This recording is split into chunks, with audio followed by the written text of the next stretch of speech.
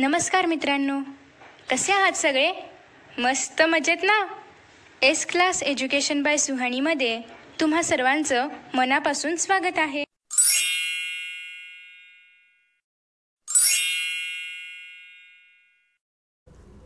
मित्रांनो आज आपण पाहतोय tenth standard science part one lesson number seven lenses आणि लेन्सेस या व्हिडिओचा हा पार्ट टू आहे.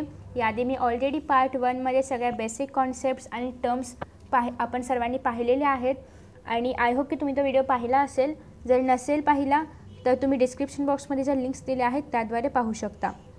सो आज आपण पाहणार आहोत पेज नंबर एटी वन आणि एटी टू सो एटी वनवरती आपल्याला एक एक्सपेरिमेंट दिलेला आहे जो की आपण लास्ट व्हिडिओमध्ये पाहिला नव्हता. सो तो आपण आता पाहणार आहोत. सो मेथड काय आहे किंवा मटेरियल काय आहे त्याआधी आपण पाहूया.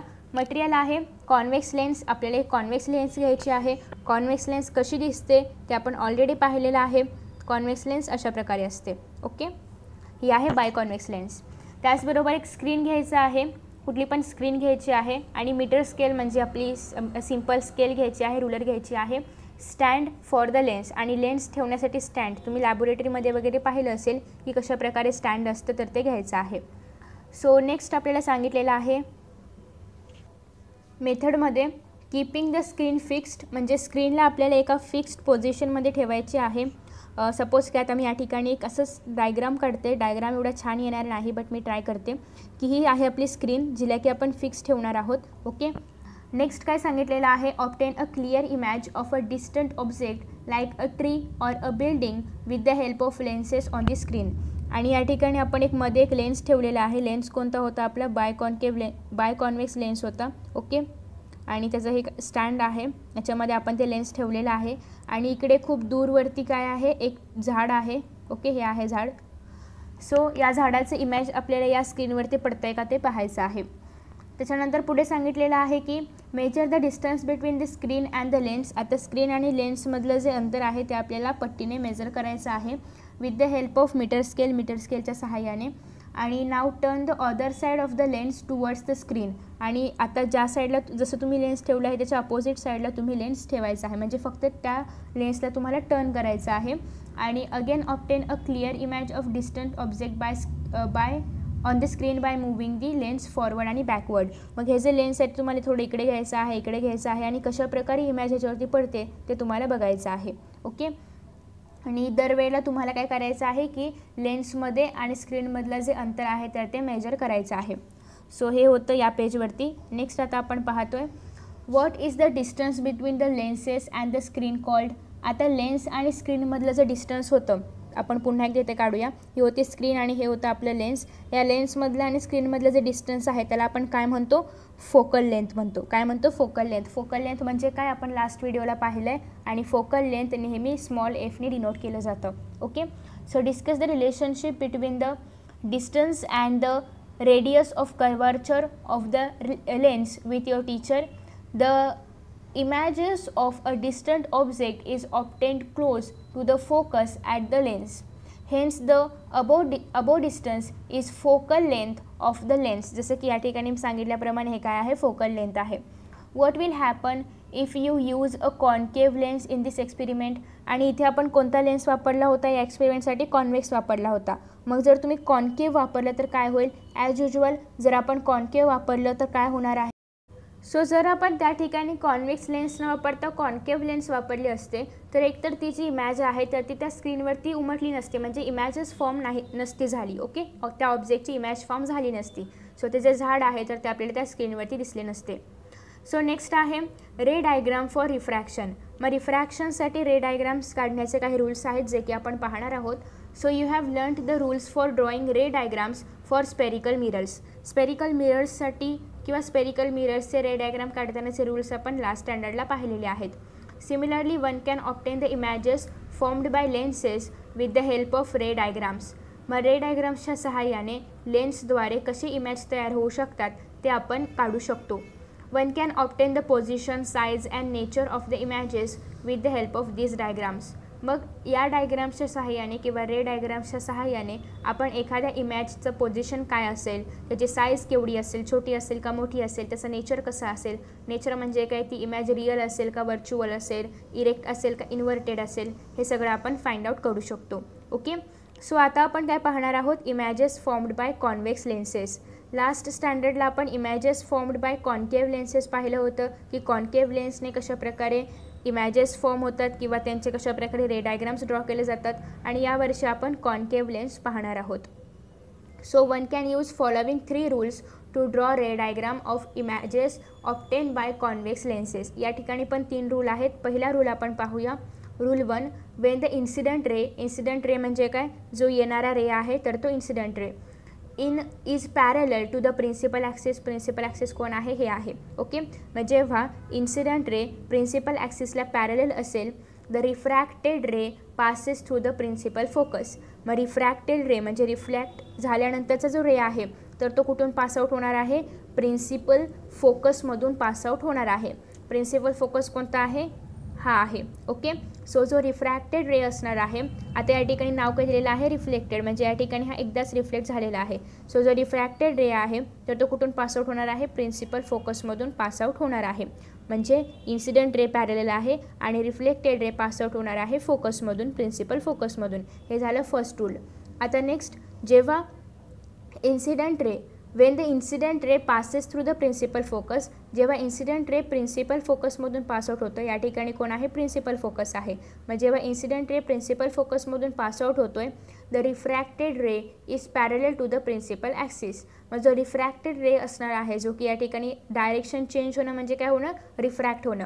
मग जो रिफ्रॅक्टेड रे असणार आहे तर तो या प्रिन्सिपल ॲक्सिसला पॅरेल असणार आहे. जसं की या डायग्राममध्ये आपण पाहू शकतो की इन्सिडेंट रे हा फोकसमधून पासआउट होतो आहे आणि रिफ्लेक्टेड रे जो आहे तर तो प्रिन्सिपल ॲक्सिसला पॅरेल आहे. ओके सेम याच्या एक्झॅक्ट अपोजिट आहे ही डायग्राम किंवा हा रूल नेक्स्ट आहे थर्ड रूल थर्ड रूल अतिशय सोपा आहे.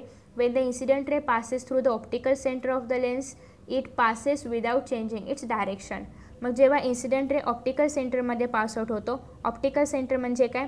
ज्याच्याम जो प्रिन्सिपल ॲक्सिसवरती लाय असतो किंवा प्रिन्सिपल ॲक्सिसवरती असतो आणि ज्याच्यामधून एखादी लाइट रे जेव्हा पासआउट होते तर तेव्हा ती स्वतःचं डायरेक्शन चेंज करत नाही. म्हणजेच जेव्हा इन्सिडंट रे ऑप्टिकल सेंटरमधून पासआउट होते तर तेव्हा ती ज्या डायरेक्शनमधून पासआउट झालेली आहे अशी झाली तर ती अशीच बाहेर पडणार. ओके जसं की या ठिकाणी अशी अशी होते तर ती कुठलीही आपली डायरेक्शन चेंज करणार नाही. अशी पासआउट झाली तर अशीच ती बाहेर येणार आहे रिफ्लेक्टेड रे ओके सो अशा पद्धतीने हे होते तीन रूल्स जे की आपण पाहिलेले आहेत. आता यानंतर या ठिकाणी एक एक्सपेरिमेंट आहे तो पण आपण पाहूया. तो एक्सपेरिमेंट जो आहे तर तो आहे मटेरियल त्यासाठी लागणार आहे कॉन्वेक्स लेन्स त्याचबरोबर स्क्रीन लागणार आहे मीटर स्केल म्हणजे पट्टी लागणार आहे. आणि स्टँड जसं की या ठिकाणी आपण पाहू शकतो stand for the lens chalk लागणार आहे खडू लागणार आहे आणि कॅन्डल एक मेणबत्ती लागणार आहे. ओके सो पहिल्यांदा काय करायचं आहे? Draw a straight line along the centre of a long table एक टेबल ज्यावर आपण हे सगळं सामान ठेवणार आहोत. तर या टेबलच्या सेंटरमधून एक स्ट्रेट लाईन आपण ड्रॉ करणार आहोत. Place the lens on the stand स्टँडवरती lens ठेवलेला आहे. कोणता लेन्स आहे? कॉन्केव की कॉन्वेक्स कॉन्वेक्स लेन्स आहे. Okay? Point O on the line. या लाईनवरती जो पॉईंट ओ आहे त्याच्यावरती आपण हे लेन्स ठेवलेलं आहे.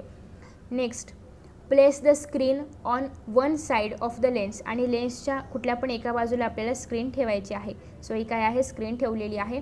त्या कॉन्वेक्स लेन्सच्या लेफ्ट साईडला आपण स्क्रीन ठेवलेली आहे.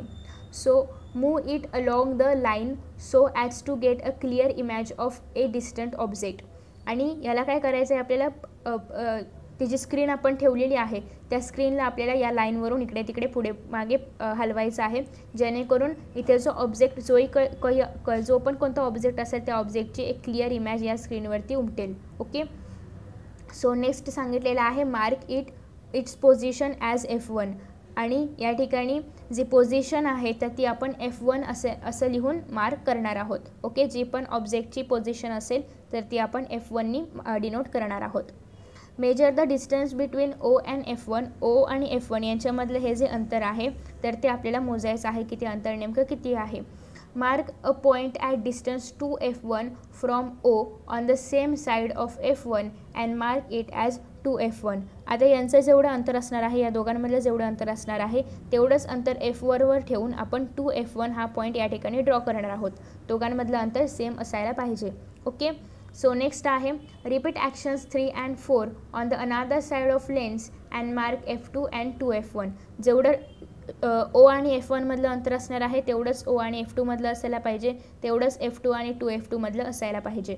Okay so next now place burning candle on the other side of the lens आणि ज्या साईडला स्क्रीन ठेवली आहे त्या त्याच्या अपोजिट साईडला आपण काय ठेवणार आहोत? कॅन्डल ठेवणार आहोत. Okay? Burning candle on the other side of the lens for far beyond two F one. F वनपासून जरासं बियॉन्ड ठेवायचं आहे. Place the screen on the opposite side of the lens. लेन्सच्या opposite साईडला कोण आहे? स्क्रीन आहे. Along the line लाईनच्या वरती correct? आणि note the position size and nature of the image आणि हे जे ऑब्जेक्ट आहे याची इमॅज तुम्हाला या स्क्रीनवरती पाहायला मिळेल. मग त्या इमॅजचं पोझिशन काय आहे साईज कशी आहे नेचर कसं आहे इरेक्ट आहे इन्व्हर्टेड आहे की व्हर्च्युअल आहे वगैरे वगैरे ते सगळं आपल्याला लिहायचं आहे. नेक्स्ट आहे रिपीट ॲक्शन सिक्स आणि ही सहावी ॲक्शन जी आहे तर ती परत करायची आहे बियॉन्ड टू एफ वन मग हा ऑब्जेक्ट टू एफ वनच्या बियॉन्ड ठेवून त्याचबरोबर टू एफ वनवरती ठेवून आणि टू एफ वन आणि टू एफ टूच्या मध्ये ठेवून किंवा एफ वन आणि एफ वन आणि ओच्या मध्ये ठेवून अशा प्रकारे आपल्याला काय करायचं आहे? दरवेळेचे ऑब्झर्वेशन्स नोट डाऊन करायचे आहेत. जसं की या ठिकाणी object F two F two आणि टू एफ वन आणि एफ वनच्या मध्ये आहे. मग तो जर टू एफ वनवर ठेवला तर एफ वनवर ठेवला तर इथे दो ए ओ आणि एफ वनच्या मध्ये ठेवला तर कशा प्रकारे इमॅज तयार होईल? हे सगळं आपल्याला बघायचं आहे. ओके? सो नेक्स्ट आहे can you recall what are real and virtual images real आणि व्हर्च्युअल इमॅजेस म्हणजे काय? How will you find out whether and images real or virtual एखादी इमॅज रिअल आहे की व्हर्च्युअल आहे ते तुम्ही कसं काय शोधून काढाल? Can a virtual image be obtain on a screen virtual image आपण स्क्रीनवरती ऑप्टेन करू शकतो का? या प्रश्नांची उत्तरं समजून घेण्यासाठी आधी आपल्याला रिअल इमॅज म्हणजे काय? व्हर्च्युअल इमॅज म्हणजे काय? हे समजून घ्यावं लागेल. जसं की आपण लास्ट स्टँडर्ड्समध्ये पाहिलेलं आहे की रिअल इमॅज ही रेस जेव्हा एका ठिकाणी कन्वर्ज होतात तर त्याच्यापासून जी इमॅज तयार होते ती असते रिअल इमॅज आणि व्हर्च्युअल इमॅज म्हणजे काय? तर रेज जेव्हा डायवर्ट होतात जेव्हा डायव्हर्जिंग रेज असतात तर तेव्हा जी काय इमॅज फॉर्म होते अर्थात ती इमॅज पुढच्या साईडला फ्रंट साईडला न होता बॅक साईडला होते म्हणजे स्क्रीनवरती ती इमॅज तयार होत नाही तर ती जी इमॅज असते तर ती असते व्हर्च्युअल मग रिअल इमॅज आपण स्क्रीनवरती बघू शकतो मात्र व्हर्च्युअल इमॅज आपण स्क्रीनवरती बघू शकत नाही. मग एखादी इमॅज रिअल आहे का व्हर्च्युअल आहे हे आपण ती इमॅज स्क्रीनवरती तयार होते की नाही याच्यावरून डिटरमाइन करू शकतो. ओके सो आता यानंतर आपण पाहणार आहोत next topic as shown in figure seven point seven figure seven point सेवनमध्ये ज्याप्रमाणे दाखवण्यात आलेलं आहे and object A B is placed beyond the point two F one okay या ठिकाणी जो ए बी ऑब्जेक्ट आहे तर तो कुठे ठेवण्यात आलेला आहे? टू एफ वन या पॉईंटच्या मागे ठेवण्यात आलेला आहे. The incident ray B C आणि या ठिकाणी बी सी हे काय आहे? इन्सिडेंट रे इन्सिडेंट म्हणजे काय? ऑब्जेक्टपासून येणारी जी लाईन असते जी रे असते त्याला आपण काय म्हणतो? इन्सिडेंट रे ओके सो या ठिकाणी बी सी हे काय आहे? इन्सिडेंट रे आहे. जसे की आपण डायग्राममध्ये बघू शकतो. तिची डायरेक्शन कोणती आहे? अशा प्रकारे तिची डायरेक्शन आपण डिनोट करतो. Okay so the incident ray B C starting from B बीपासून ही जी इन्सिडेंट रे आहे तर ती आलेली आहे. And going parallel to the principal axis आणि प्रिन्सिपल ॲक्सिसला कशी आहे? पॅरेलल आहे. ओके आणि goes through the principal focus F two आणि ही परत कुठून? रिफ्लेक्ट झाल्यानंतर कुठून जाते? एफ टू एफ टूमधून ही कुठे होते? पासआउट होते. ओके याच्यामधून जाते ना? सो एफ टूमधून ती पासआउट होते. सो नेक्स्ट आहे अलॉंग विथ सिटी आणि सिटीबरोबर एफ टूमधून ती पासआउट होते. नेक्स्ट आहे द रे बी ओ आणि या ठिकाणी हा जो बी ओ आहे म्हणजेच की हे हे काय आहे? ओ म्हणजे काय? ऑप्टिकल सेंटर आहे. स्टार्टिंग फ्रॉम बी बीपासून स्टार्ट होते. And passing through the optical centre आणि या ठिकाणी हे जे ऑप्टिकल सेंटर आहे त्या ऑप्टिकल सेंटरमधून काय होते? पासआउट होते. Of the lenses goes along O S आणि ओ एसमधून आहे अशी जाते विदाऊट चेंजिंग एनी डायरेक्शन म्हणजे ही जी रे आहे इन्सिडेंट रे तर ती ओवरती येते. ओ नंतर रिफ्लेक्ट होते पण ती जी डायरेक्शन ती चेंज करत नाही. Okay this means that the image of B is formed at B dash म्हणजे या ठिकाणी इमॅज ऑफ बी ए बी या ऑब्जेक्टची जी इमॅज आहे तर ती या ठिकाणी बी डॅश ए डॅशवरती फॉर्म झालेली आहे. म्हणजे बी खाली आहे एवरती आहे म्हणजे ही इमॅज कशी असणार आहे? नक्की सरळ आहे की उलटी आहे? तर इमॅज उलटी आहे इमॅज कशी आहे? इन्व्हर्टेड आहे. ओके? इन्व्हर्टेड म्हणजे रिअल ओके? रिअल इन्व्हर्टेड असते. किंवा इन्व्हर्टेड इमेज रिअल असते. नेक्स्ट आहे as A is situated on the principal axis जसं की या ठिकाणी ए कुठे आहे प्रिन्सिपल ॲक्सिसवरती आहे. So its image will also be located along the principal axis जर ए प्रिन्सिपल ॲक्सिसवर आहे तर त्याचं इमॅज पण प्रिन्सिपल ॲक्सिसवरच होणार. जसं की या ठिकाणी आपण पाहू शकतो. वर्टिकली अबो ए डॅश ए डॅशच्या बरोबर वर्टिकली वरच्या बाजूला काय तयार होणार आहे? ए डॅश तयार होणार आहे. Thus A dash B dash will the will be the image of A B A B या ऑब्जेक्टची इमॅज काय होणार आहे? ए डॅश बी डॅश होणार आहे. Formed by the lens so we learn that if an object is placed beyond two F one तर आपण यातून असं शिकू शकतो की जर object two F two two F one sorry sorry two F one आहे सॉरी तर या ठिकाणी टू एफ वनच्या जर मागे आपण ऑब्जेक्ट एखादं ठेवलं असेल तर the image form is between F two and two F two म्हणजे इमॅज तयार होते तर ती टू एफ टू आणि एफ टू या पॉईंट्सच्या मधून मध्ये तयार होते. आणि ती कशी असते तिचं नेचर कसं असतं तर ते रिअल असते. त्याचबरोबर इन्व्हर्टेड इन्व्हर्टेड म्हणजे काय? पायावर डोकाखाली म्हणजे उलटी असते. आणि ती कशी असते? छोटी असते. आता इथे जर आपण पाहिलं तर ऑब्जेक्ट मोठा आहे आणि इमॅज काय आहे? छोटी आहे. सो अशा प्रकारे तिचं जे नेचर असतं तर ते स्मॉल असते साईज स्मॉल असते. ओके तर अशा पद्धतीने आपण बघितलं की कॉन्वेक्स लेन्समध्ये कशा पद्धतीने एखाद्या ऑब्जेक्टची इमॅज तयार होते. आता या ठिकाणी ऑब्झर्वमधून म्हणून सांगितलेलं आहे ते पण आपण बघूया. आणि त्याच्यानंतर कॉन्वेक्स लेन्समध्ये फॉर्म होणाऱ्या ऑब्जेक्टची इमॅजची पोझिशन काय असते साईज कसं असते ते पण आपण बघणार आहोत. त्यानंतर पुढे आहे ऑब्झर्व ऑब्झर्वमध्ये जे काय सांगितलेलं आहे तर ऑब्झर्वमध्ये आपल्याला सांगितलेलं आहे की इथे जसं की आपण टू एफ वनच्या आधी ऑब्जेक्ट ठेवला होता. आणि त्याची इमॅज एफ टू आणि टू एफ टूच्यामध्ये आली होती. त्याचप्रमाणे तुम्ही ऑब्जेक्टची जागा चेंज करा आणि इमॅज कुठे कशी येते ते बघा. ओके तर त्यासाठी आपल्याला हा जो टेबल दिलेला आहे याचा अभ्यास करायचा आहे.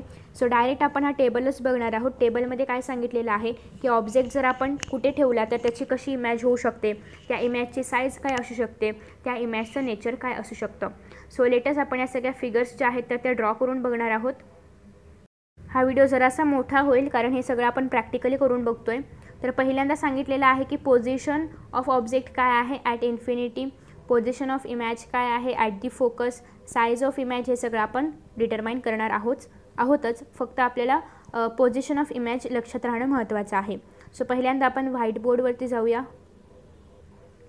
सो या ठिकाणी फर्स्ट आपण एक प्रिन्सिपल ॲक्सिस ड्रॉ करणार आहोत. त्याआधी आपण आपला जो कॉन्वेक्स मिरर आहे तर तो ड्रॉ करूया. ह्या हा आहे आपला कॉन्वेक्स मिरर आणि याच्यामधून जी पासआउट होते ती आहे प्रिन्सिपल ॲक्सिस जरा चुकलेली आहे वर यायला पाहिजे थोडीशी. ओके ॲक्च्युली स्क्रीनवरती ड्रॉ करताना इतकं परफेक्ट येणार नाही बट तरीही मी ट्राय करेन. हा आहे आपला ऑप्टिकल सेंटर ओके या ठिकाणी असणार आहे एफ वन या ठिकाणी असणार आहे two F one F one two F वनमधला distance same असायला पाहिजे. एफ वन आणि ओमध्ये जितकं डिस्टन्स आहे तितकंच एफ एफ टू आणि ओमध्ये असायला पाहिजे. आणि या ठिकाणी टू एफ टू तुम्ही हे माझ्यासोबतच ड्रॉ करा जेणेकरून तुम्हाला पण कळेल कसं ड्रॉ करायचं.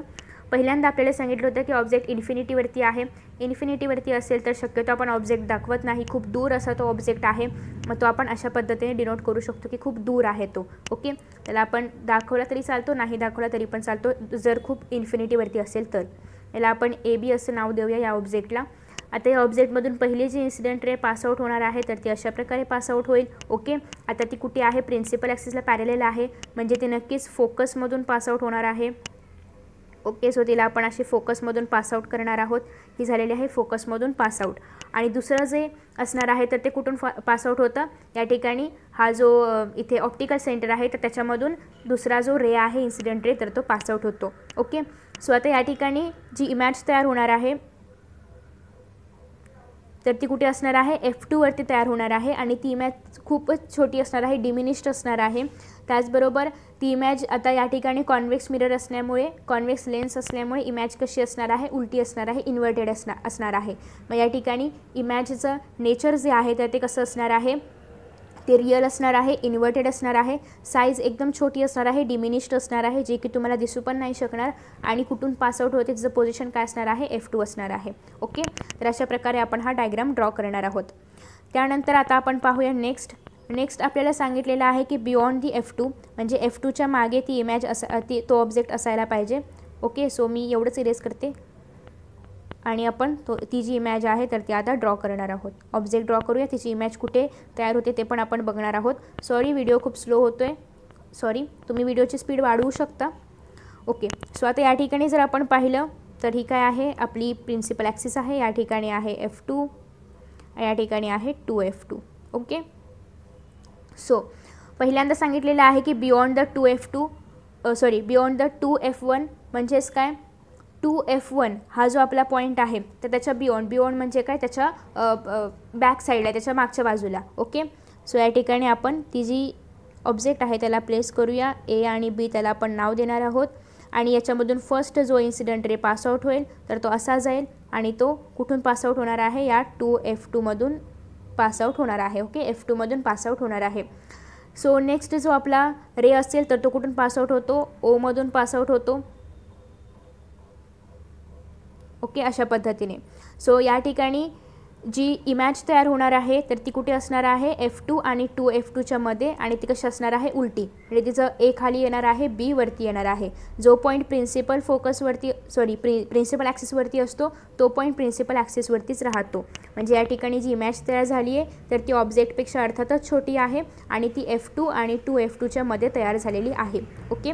आय होप की तुम्हाला अशा प्रकारे कळतं आहे नेक्स्ट आता आपण पाहूया याच्या पुढची डायग्राम सेम आपल्याला पहिल्यांदा काय ड्रॉ करायचं आहे या ठिकाणी? कॉन्वेक्स लेन्स ड्रॉ करायचा आहे. त्याच्यामधून काय पासआउट होतं? प्रिन्सिपल ॲक्सिस पासआउट होतं. तुम्ही स्केलनी वगैरे व्यवस्थित ड्रॉ करायचं आहे.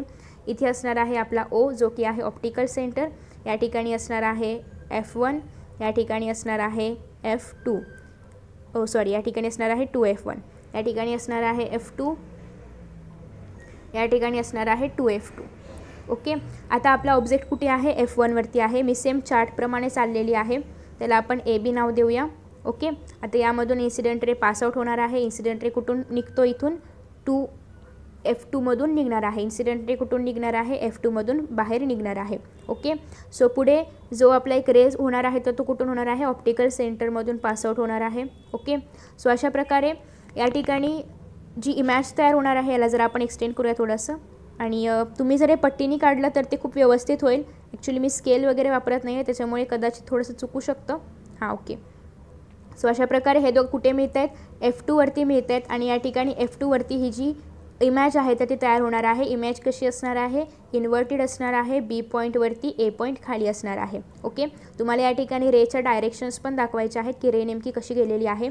आता ही जी रे आहे या ठिकाणी मी दाखवलेली आहे तर ती बरोबर ऑप्टिकल सेंटरमधून पासआउट व्हायला पाहिजे. तुम्ही ते तसंही तुमच्या स्केलनी वगैरे ड्रॉ करणारच आहात त्याच्यामुळे ती बरोबर जाईल. माझी मात्र वाकडी तिकडे चालली आहे सो हे बरोबर ओमधून जाणार आहे. तुम्हाला जर हवं असेल तर मी स्केल वगैरे घेऊन पण ड्रॉ करेन नेक्स्ट व्हिडिओमध्ये जर हवं असेल तर तुम्ही कमेंट बॉक्समध्ये कमेंट करून सांगा. ओके सो अशा पद्धतीने आपण सेकंड बघितलेला आहे. इमॅज कुठे तयार झालेली आहे? टू एफ टूवरती इमॅज कशी आहे? ऑब्जेक्टपेक्षा छोटी आहे आणि त्याचबरोबर ती उलटी आहे इन्व्हर्टेड आहे. सो नेक्स्ट आता आपण पाहतोय.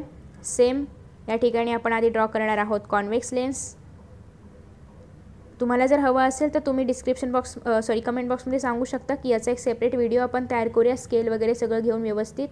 आणि मग त्या व्हिडिओमध्ये तुम्ही सगळं पाहू शकता. पण अर्थात जर तुमची इच्छा असेल तर.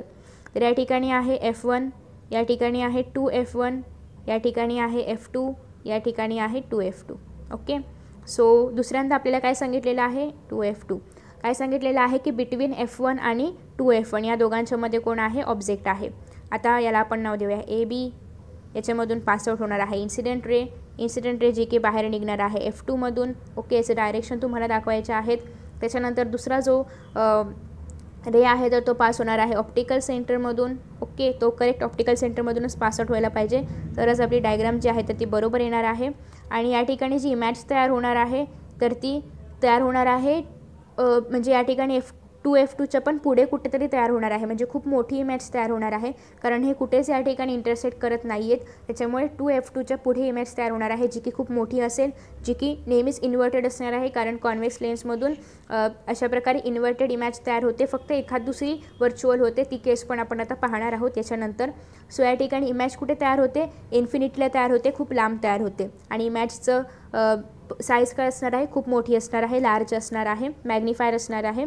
सो अशा पद्धतीने हे होतं आपला फिफ्थ केस आता आपण सिक्स्थ केस पाहणार आहोत. सिक्स्थ केसमध्ये जी इमॅज असेल तर ती जरा वेगळ्या पद्धतीची आहे. कशी आहे ते आपण पाहूया.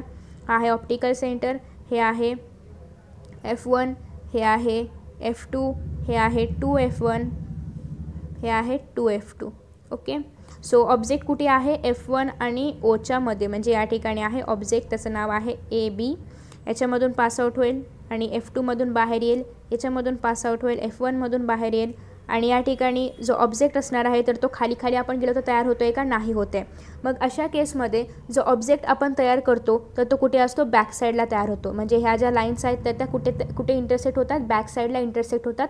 आपल्याला या लाईन बॅक साईडला एक्सटेंड करावे लागतात. आणि या एका पर्टिक्युलर पॉईंटवरती बॅकसाईडला एक्सटेंड केल्यानंतर एका पर्टिक्युलर पॉईंटवरती त्या जोडल्या जातात. आणि या ठिकाणी ऑब्जेक्ट तयार होतो. अर्थात हा ऑब्जेक्ट अर्थात ही इमॅज ऑब्जेक्टपेक्षा मोठी असणार आहे आणि त्याचबरोबर ती सरळ असणार आहे कारण ती लेन्सच्या मागच्या बाजूला तयार होते. जर ती मागच्या बाजूला तयार होत असेल तर ती सरळ असते म्हणजे इरेक्ट असते. आणि इरेक्ट म्हणजेच काय असणार आहे? ती व्हर्च्युअल असणार आहे. ओके इरेक्टचा अर्थ काय असणार आहे? ती व्हर्च्युअल असणार आहे. तर अशा पद्धतीने या ठिकाणी ए बी नावाची इमॅज तयार झालेली आहे. तर अशा पद्धतीने या सगळ्या इमॅजेस तयार होत असतात ज्या की आपण इथे पाहिलेल्या आहेत. सो हे होतं की कॉन्वेक्स लेन्समधून कशाप्रकारे रे डायग्राम्स पासआउट होऊन इमॅजेस तयार होतात. नेक्स्ट व्हिडिओमध्ये आपण सेम कॉन्केव्ह लेन्सबद्दल पाहणार आहोत. आय होप की तुम्हाला आजचा व्हिडिओ समजला असेल. व्हिडिओ समजला असेल तर लाईक शेअर कमेंट करा.